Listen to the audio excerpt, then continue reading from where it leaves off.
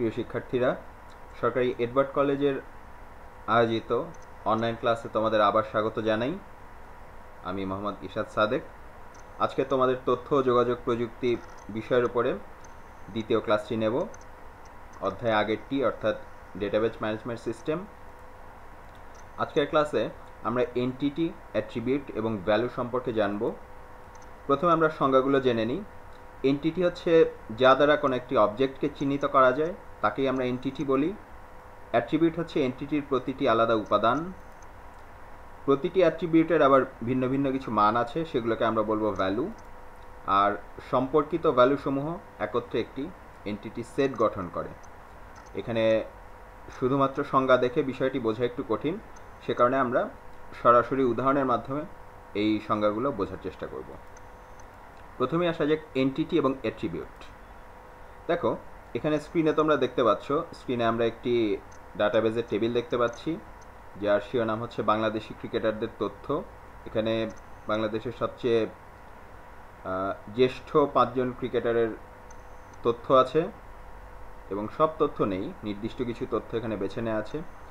তাহলে এখানে এই ডাটাবেজের ক্ষেত্রে বা এই ফাইলটির ক্ষেত্রে আমরা এই পুরো ব্যাপারটিকে যদি ভাগ করে নেই তাহলে সামগ্রিকভাবে আমরা বলতে পারি যে এখানে বাংলাদেশি ক্রিকেটারদের তথ্য আছে।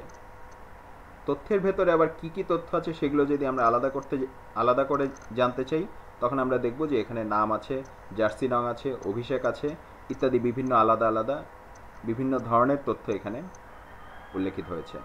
তাহলে এখানে এই যে বাংলাদেশি ক্রিকেটারদের তথ্য, এটি হচ্ছে এখানে এনটিটি। সাধারণত আমরা কোনো একটি টেবিল তৈরি করার সময় টেবিলের উপর সাধারণত শিরোনাম দিয়ে দিই। যেই শিরোনাম থেকে আমরা বুঝতে পারি যে এই ডেটাবেজে বা এই টেবিলে কি তথ্য রাখা হয়েছে। এটিকেই এক কথায় আমরা বলব এনটিটি আর এনটিটির ভেতরে আমরা যে সকল ধরনের তথ্য রাখি বা যে সকল আলাদা আলাদা উপাদান ব্যবহার করে তথ্যকে সাজাই, তাদেরকে বলা হয় অ্যাট্রিবিউট যেমন এখানে ম্যাচ রান প্রাপ্ত উইকেটের সংখ্যা, এগুলো প্রত্যেকটি এক একটি। অ্যাট্রিবিউট এবারে আসা যাক এনটিটি সেট এবং ভ্যালু বলতে আমরা কি বুঝি। আবার আমরা আগের টেবিলেই ফেরত আসি। এখানে অনেকগুলো পাশাপাশি কলাম এবং রোয়ের মাধ্যমে ডাটাগুলো সাজানো আছে। যেমন আমরা যদি মাশরাফি বিন মোর্তজার শাড়িটি আলাদা করে দেখতে যাই, এখানে আমরা পাবো মাশরাফি বিন মোর্তজা দুই দুই হাজার এক, দুইশো বিশ, সতেরোশো সাতাশি এবং দুইশত সত্তর। এই যে, এই সবগুলো মিলে এই সম্পর্কিত তথ্যগুলো হচ্ছে আসলে মাশরাফিন বিন মোর্তজার বিভিন্ন অ্যাট্রিবিউটের মান। এই সবগুলো তথ্যকে একবারে আমরা বলব এনটিটি সেট এখানে আগেই আবার মনে করিয়ে দেই, এখানে এনটিটিটি ছিল বাংলাদেশি ক্রিকেটারদের তথ্য। কোনো একটি নির্দিষ্ট অংশকে যখন আমরা আলাদা করে নিচ্ছি, পরস্পর সম্পর্কিত, তাদের সবগুলোকে আমরা একবারে বলছি এনটিটি সেট আবার এখানে যদি কোনো একটি নির্দিষ্ট এনটিটি সেটকে আমরা আলাদা আলাদা করে ভেঙে দেখতে চাই, তাহলে দেখতে পাবো প্রতিটি অ্যাট্রিবিউটের মধ্যে এর আবার আলাদা আলাদা কিছু মান আছে। যেমন আমরা যদি দ্বিতীয় সারিতে অর্থাৎ তামিম ইকবাল যেখানে আছেন, সেখানে প্রতিটি অ্যাট্রিবিউটের যদি আলাদা করে ভ্যালু দেখতে যাই, এখানে নাম একটি অ্যাট্রিবিউট যার ভ্যালু হচ্ছে তামিম ইকবাল জার্সি নাম্বার আরেকটি অ্যাট্রিবিউট যার ভ্যালু হচ্ছে উনত্রিশ অভিষেক আরেকটি অ্যাট্রিবিউট যার ভ্যালু দুই সাত। ম্যাচ অ্যাট্রিবিউটটির ভ্যালু হচ্ছে দুশো সাত। রান অ্যাট্রিবিউটের ভ্যালু হচ্ছে সাত হাজার দুইশো দুই। অর্থাৎ আমরা উদাহরণের মাধ্যমে এনটিটি সেট এবং ভ্যালু বলতে কি বোঝায় সেটি বুঝলাম। এবারে আসা যাক আরও একটি নতুন ধারণা, সেটি হচ্ছে কি কি অর্থাৎ চাবি, যেটি দিয়ে আমরা সাধারণত কোনো একটি তালা খুলতে ব্যবহার করে থাকি। তবে ডাটাবেজের ব্যবহারের ক্ষেত্রে আমরা যখন কি শব্দটি একটু ভিন্নভাবে ব্যবহার করি, এখানে কি বলতে আমরা বোঝাই যে ফিল্ডের ওপরে ভিত্তি করে ডেটাবেজে কোনো তথ্য শনাক্তকরণ করা হয় অথবা কোনো তথ্য খোঁজা হয় অথবা কোনো তথ্যের সাথে আরেকটি তথ্যের সম্পর্ক স্থাপন করা হয়, সেই ফিল্ডটিকে বলা হয় কি অথবা কি ফিল্ড। অর্থাৎ আমরা যদি, আমরা কেবলই অ্যাট্রিবিউট কথাটি শিখে এসেছি, আমরা যদি অ্যাট্রিবিউট দিয়ে বলি, তাহলে কি হচ্ছে আসলে একটি বিশেষ অ্যাট্রিবিউট যা দিয়ে এনটিটির অন্য এক বা একাধিক অ্যাট্রিবিউটকে সহজে খুঁজে পাওয়া যায় বা সম্পর্ক স্থাপন করা যায়। এখানে আমরা যদি প্রকারভেদ দেখতে যাই, কি তিন প্রকার। একটি হচ্ছে প্রাইমারি কি একটি হচ্ছে কম্পোজিট প্রাইমারি কি আর সর্বশেষটি হচ্ছে ফরেন কি আমরা প্রতিটিকে উদাহরণের সাহায্যে বোঝার চেষ্টা করব। প্রথমে আসা যাক প্রাইমারি কি বলতে আমরা কি বুঝি? প্রাইমারি কি হচ্ছে এমন একটি ফিল্ডের মান, যেটি দ্বারা একটি রেকর্ডকে অন্যান্য সব রেকর্ড থেকে সম্পূর্ণ আলাদা করা যায়। সেটিকে আমরা বলি হচ্ছে প্রাইমারি কি এই ফিল্ডের প্রত্যেকটি ডেটার বৈশিষ্ট্য হচ্ছে এদের প্রতিটি ডেটাকে অনন্য এবং ভিন্ন, অর্থাৎ ইউনিক হতে হবে, এখানে কোনো ডুপ্লিকেট ডেটা থাকা চলবে না। আমরা একটি উদাহরণের মাধ্যমে দেখি। এখানে দেখতে পাচ্ছ স্ক্রিনে একটি ডেটা টেবিল দেখা যাচ্ছে যে ডেটা টেবিলটি কোনো একটি পরীক্ষার ফলাফল নির্দেশ করছে। এখানে, দেখো, এখানে যে বিভিন্ন কলামে বিভিন্ন জনের প্রাপ্ত নম্বরগুলো দেয়া আছে, শেষ কলামে গ্রেডটি দেয়া আছে, এখন একাধিক জন কিন্তু একই গ্রেডও পেতে পারে, একাধিক জন একই নাম্বারও পেতে পারে, অতএব এই ডেটাগুলো কিন্তু অনন্য হচ্ছে না। কিন্তু এখানে অনন্য একটি অংশ আছে, সেটি হচ্ছে একদম বামের কলমে আমরা দেখতে পাচ্ছি রোল নাম্বার। কলেজে আমরা তোমাদের যেভাবে রোল নাম্বার দিয়ে থাকি, এখানে একজনের সাথে আরেকজনের রোল নাম্বার কিন্তু মিলে যাওয়ার কোনো সুযোগ নেই। তাহলে এই চিত্রে ক্লাস রোল নম্বর একটি প্রাইমারি কি হতে পারে? কেননা দুজন শিক্ষার্থী কখনো একই রোল নাম্বার হবে, এটি সম্ভব নয় এই পদ্ধতিতে। আবার একই কারণে নাম বা জন্ম তারিখ ইত্যাদিকে আমরা কখনো প্রাইমারি কি হিসাবে নিতে পারি না। কারণ এক ক্লাসে একই নামের বহুজন থাকতে পারে, কিংবা একই দিনে বহুজন মানুষ জন্মাতেই পারে। সেখানে প্রাইমারি কি হিসেবে আমরা এমন একটি ফিল্ড বেছে নেব যেটি অবশ্যই একজনের সাথে আরেকজনের কখনোই মিলবে না। যেমন, আমরা যদি জাতীয় পর্যায়ে চিন্তা করি, আমাদের অনেকেরই জাতীয় পরিচয়পত্র আছে। জাতীয় পরিচয়পত্রে যে নম্বরটি আমাদের আছে, সেটি কিন্তু সারা দেশের মধ্যে অনন্য একটি নাম্বার। তোমার জাতীয় পরিচয়পত্রের নাম্বার ঠিক একটি আছে, সেটি সারা বাংলাদেশে আর কারও নেই। সে কারণে জাতীয় পর্যায়ে জাতীয় পরিচয়পত্রের যে নাম্বার, অর্থাৎ এনআইডি নাম্বার, এটি একটি। যে কোনো ডেটাবেজে প্রাইমারি কি হিসেবে ব্যবহার করা যেতে পারে। এবার আসা যাক কম্পোজিট প্রাইমারি কি কম্পোজিট অর্থ হচ্ছে আমরা যখন একাধিক অংশকে একসাথে সংযুক্ত করি।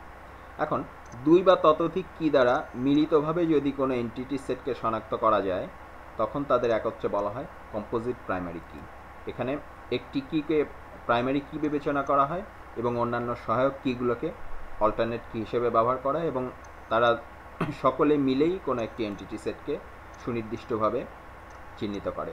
যেমন, এখানে আমরা চিত্রে দেখতে পাচ্ছি, শিক্ষার্থীদের তথ্য একটি টেবিলে সাজিয়ে রাখা হয়েছে। এখানে একটি মুশকিল হয়েছে, দেখো, এখানে রোল নাম্বার, একই রোল নাম্বারের কিন্তু একাধিক জন আছে। যেমন, বিজ্ঞান শাখার একটি এক নাম্বার রোল আছে, মানবিক শাখার একটি এক নাম্বার রোল আছে, ব্যবসায় শিক্ষা শাখার একটি এক নাম্বার রোল আছে। একইভাবে বিজ্ঞান শাখা, মানবিক শাখা এবং ব্যবসায় শিক্ষা শাখা প্রতিটি শাখার আবার দুই রোল এবং পুরো টেবিলটি আমরা দেখতে পাচ্ছি না, অবশ্যই এভাবে বিভিন্ন শাখার তিন রোল, চার রোল, প্রতিটি রোল একাধিকবার আছে। কিন্তু এখানে খেয়াল করে দেখো, একটি শাখাতে কিন্তু একাধিক এক রোলের অস্তিত্ব নেই। বিজ্ঞানের শাখাতে এক রোল আছে একজনেরই, বিজ্ঞান শাখাতে দুই রোল আছে ঠিক একজনেরই।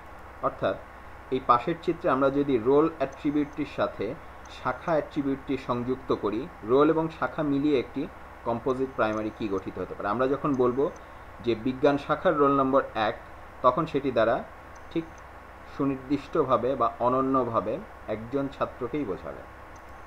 এখানে রোল অ্যাট্রিবিউটটি হবে আমাদের প্রাইমারি কি, আর শাখা অ্যাট্রিবিউটটি হবে আমাদের অল্টারনেট কি। তাহলে আমরা কম্পোজিট প্রাইমারি কি বুঝলাম? এবার আসা যাক ফরেন কি। রিলেশনাল ডাটাবেজের ক্ষেত্রে আমরা যখন একটি টেবিলের প্রাইমারি কিকে অন্য আরেকটি টেবিলের সাধারণ কি হিসাবে ব্যবহার করি।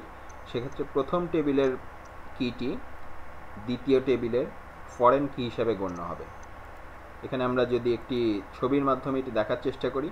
দেখো, এখানে দুটি আলাদা ডেটাবেস টেবিল আছে।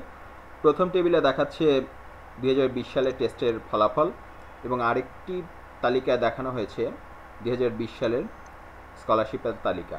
তোমরা খেয়াল করলে দেখবে দুটি টেবিলের প্রাইমারি কি কিন্তু এক নয়।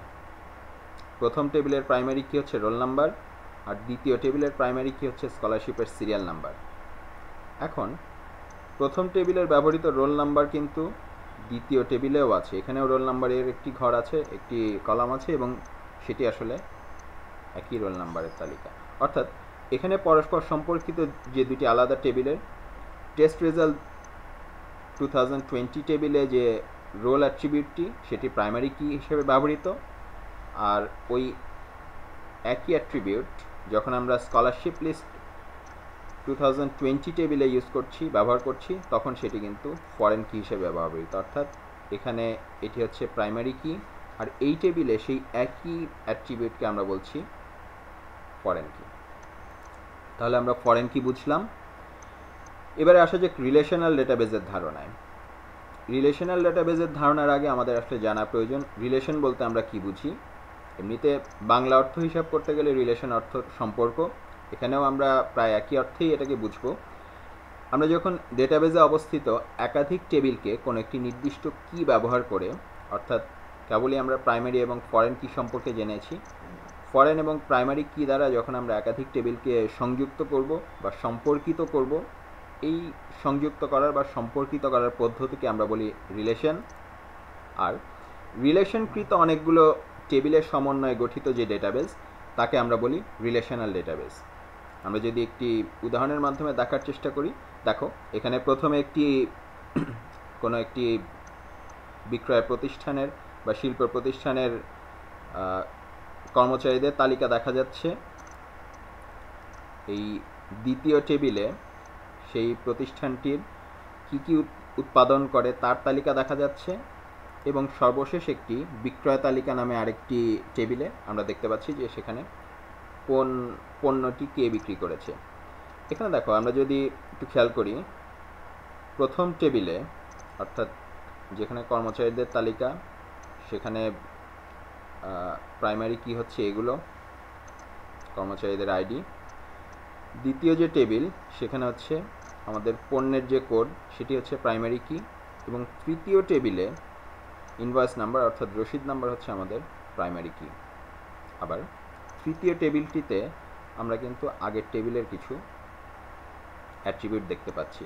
অর্থাৎ এখানে প্রোডাক্ট কোড কলামটি প্রাইমারি কি হিসেবে ব্যবহৃত হলেও এই টেবিলে এটি কিন্তু একটি ফরেন কি আবার এখানে কর্মচারীদের পরিচিতি নম্বরটি প্রাইমারি কি হলেও এই টেবিলে এসে এটি কিন্তু আবার ফরেন কি অর্থাৎ এই যে ভিন্ন ভিন্ন টেবিলের সাথে আমরা একটি অ্যাট্রিবিউটের সাথে অথবা একটি প্রাইমারি কি এর সাথে আরেকটি ফরেন কি এর যে সম্পর্ক স্থাপনের মাধ্যমে এই তিনটি টেবিলের মাধ্যমে বা এই তিনটি এন্টিটির মধ্যে যে সম্পর্ক স্থাপন করলাম, এখন এদের সমন্বয়ে যে ডেটাবেসটি গঠিত হবে, তাদেরকে আমরা একটি রিলেশনাল ডেটাবেস বলতে পারি।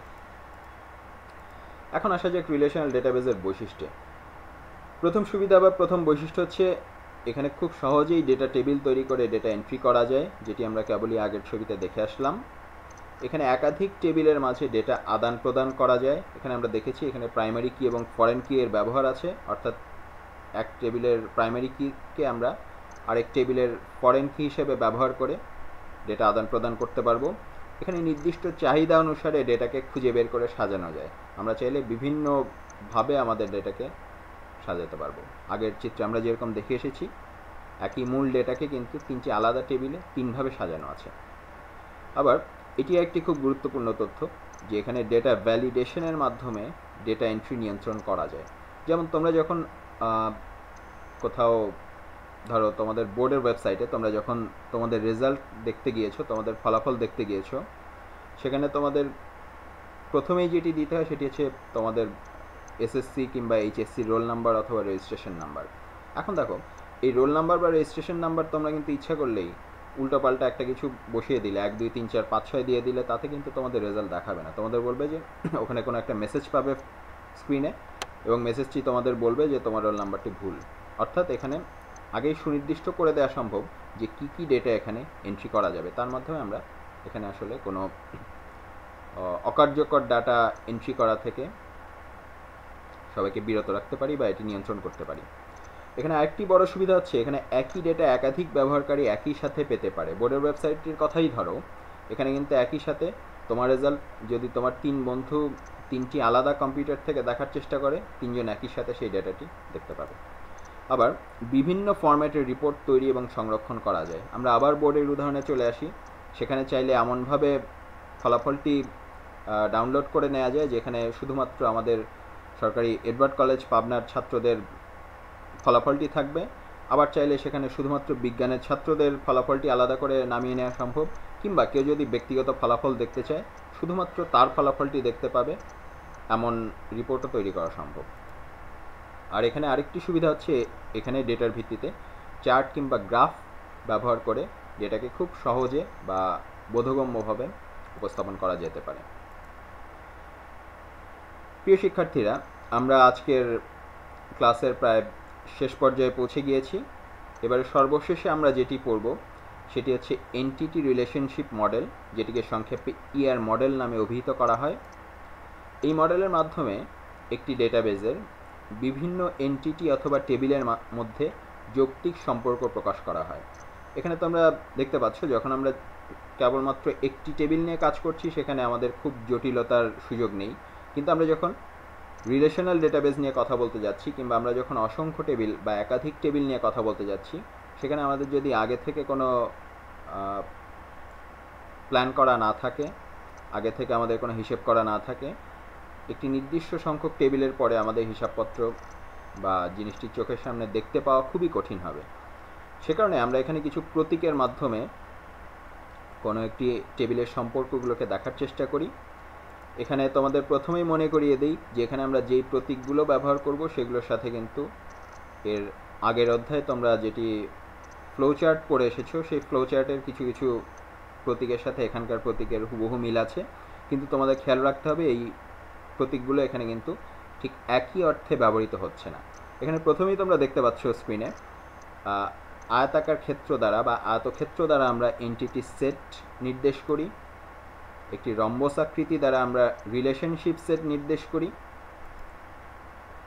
একটি উপবৃত্তাকার আকৃতি দ্বারা আমরা অ্যাট্রিবিউট নির্দেশ করি এবং কিছু তীরচিহ্ন দ্বারা আমরা সংযোজন বা সংযুক্ত পথটি নির্দেশ করি যে একটির সাথে আরেকটি কীভাবে সংযুক্ত।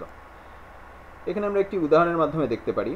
ধরা যাক, এখানে আমাদের একটি এনটিটি সেট আছে যেটি বিভিন্ন শিক্ষার্থীর সাধারণ তথ্য সংরক্ষণ করে। এখন শিক্ষার্থী সাধারণ তথ্যের মাধ্যমে সম্ভাব্য যেসব অ্যাট্রিবিউট থাকতে পারে, সেটি হতে পারে ভর্তির রসিদ নাম্বার, সেখানে থাকতে পারে তার ক্লাস রোল সেখানে থাকতে পারে তার নাম, সেখানে থাকতে পারে তার জন্ম তারিখ পিতার নাম ইত্যাদি। এখন আমরা হচ্ছে আরেকটি এনটিটি সেটের কথা চিন্তা করি। যে এনটিটি সেটটি হচ্ছে অর্ধবার্ষিক পরীক্ষার ফল। একই শিক্ষার্থীদের কিন্তু। তাহলে সেখানে কি কি থাকবে? প্রথমেই থাকবে ক্লাস রোল এরপরে বিভিন্ন বিষয়ের প্রাপ্ত নম্বর এবং এরপরে সে কত গ্রেড পেল সেটি থাকবে। এখন এখানে খেয়াল করলে তো আমরা দেখবে, শিক্ষার্থীদের সাধারণ তথ্যের মধ্যেও ক্লাস রোল এই অ্যাট্রিবিউটটি আছে। আবার অর্ধবার্ষিক পরীক্ষার যে ফল, তার মধ্যেও ক্লাস রোল এই অ্যাট্রিবিউটটি আছে। অর্থাৎ এই দুজনের মধ্যে যে কমন রিলেশনশিপ বা কমন অ্যাট্রিবিউট সেটি হচ্ছে ক্লাস রোল অর্থাৎ আমরা যখন এই দুটি আলাদা এন্টিটি সেটকে রিলেশন অ্যান্ড ডাটাবেজ ডাটাবেজ হিসাবে সম্পর্কিত করতে যাব, আমাদের সম্পর্কের ভিত্তি হবে ক্লাস রোল এখন এই মডেলের মাধ্যমে আমরা খুব সহজেই শিক্ষার্থীদের সাধারণ তথ্য এবং অর্ধবার্ষিক পরীক্ষার ফলের মাধ্যমে, মধ্যে এই দুটি এন্টিটি সেটের মধ্যে আমরা কীভাবে সম্পর্ক স্থাপন করব সেটি বুঝতে পারছি। প্রিয় শিক্ষার্থীরা, আমাদের আজকের ক্লাসটি এ পর্যন্তই। আশা করি এই করোনার সময় তোমরা সবাই ভালো থাকবে, তোমরা সবাই নিরাপদ থাকবে। ততক্ষণ সবার জন্য শুভকামনা। সবাই নিরাপদে থাকো। আমরা এর পরবর্তী ক্লাসে তোমাদের রিলেশনাল ডাটাবেস সিস্টেমের পরবর্তী অংশ নিয়ে আলোচনা করব। ততক্ষণ সবাই সুস্থ থাকো, সবার জন্য শুভকামনা।